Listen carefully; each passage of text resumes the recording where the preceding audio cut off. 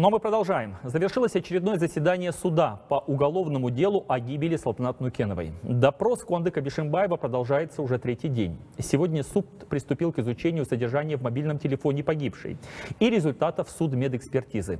Подробности резонансного дела в материале моей коллеги Тамирис Белял.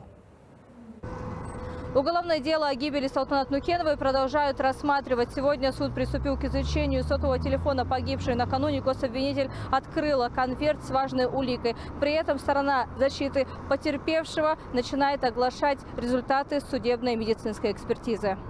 По данным экспертов, которые зачитала представитель потерпевшей стороны, смерть девушки наступила из-за закрытой черепно-мозговой травмы.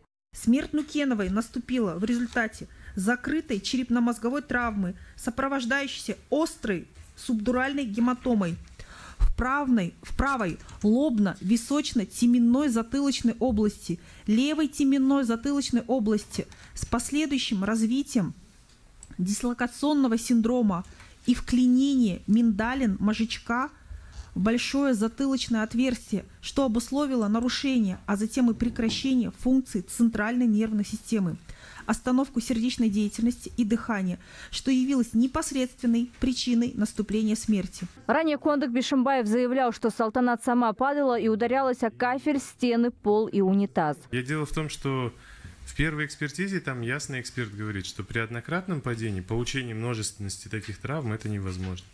В своих показаниях я указал, что неоднократно она падала. Но я признаю, что я наносил ей побои, я говорил об этом. Но кроме того, я показывал и указывал в своих показаниях, что она и падала многократно, и падала лицом на пол. Это меня и в какой-то степени ввело в заблуждение, что я не понимал, что с ней происходит. Защитники Куандака Бишимбаева против, чтобы оглашали судебно-медицинское заключение. Адвокат подсудимого направила ходатайство о признании озвученного недопустимым доказательством. В зале судебного заседания нет ни одного э, специалиста в области э, судебной медицины. Э, и полагаю, что когда придут эксперты на допрос, если они будут вызваны, поскольку нам неизвестен список свидетелей обвинения, тогда будет уместно выяснять этот вопрос, поскольку он будет вызывать множество мнений как со стороны потерпевшей, так и со стороны защиты, так и со стороны обвинителя. И, возможно, это вызовет э, затягивание процесса. Участникам судебного процесса также показали приложение к заключению экспертизы, фотографии погибшей, сделанные в момент обнаружения тела и снимки вскрытия. Ранее брат Салтанат Нукеновой просил не распространять изображение тела погибшей. Не знаю, суд позволит, не позволит, сможет ли это обеспечить, чтобы эти фотографии и видео не транслировались никуда и нигде не публиковались.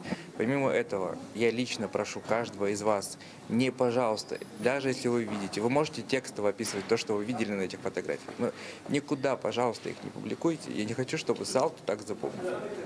Допрос Куандака Бишимбаева продолжается. На сегодняшнем заседании гособвинитель огласила содержимое переписок в мессенджере между Нукеновой и Бишимбаевым, а также личные заметки из телефона девушки. На следующей неделе слушания будут проходить ежедневно с понедельника по четверг.